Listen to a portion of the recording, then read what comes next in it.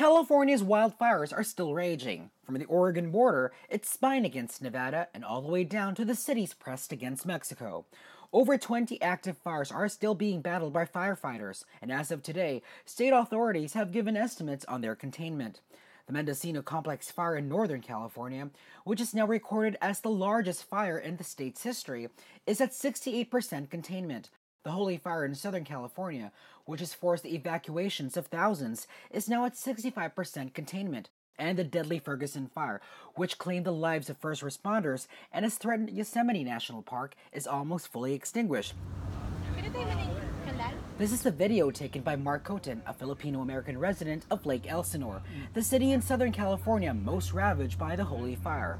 He and his wife were forced to evacuate to safer ground late last week when the flames came extremely close to their home.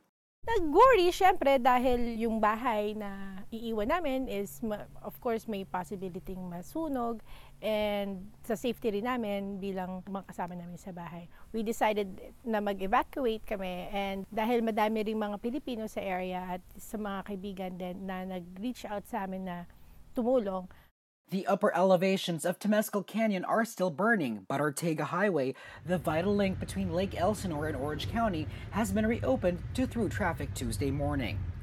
The holy fire sparked on August 6, leaving thousands of acres charred, but solidifying a community already stretched thin to help each other.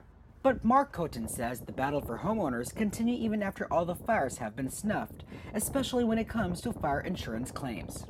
If your house is not burned down, yung mahirap mag-claim. So ngayon, ang ginagawa namin is we're talking to dun sa mga a law firm na sila na yung mag-aasikaso para lang mapalinis yung bahay. Like, like I said before na hindi naman nasunog, pero nandoon pa rin yung mga toxins ng ashes. So we have to make sure na as a homeowner, protektahan din namin yung mga sarili namin.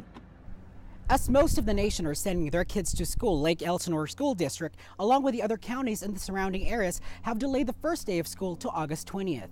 Now, as the summer sun still beats down on Lake Elsinore with the temperatures rising to 90 to 100, no one is safe until the end of the fire season is finally over. Albert Bataclan, ABS-CBN News, Lake Elsinore, California.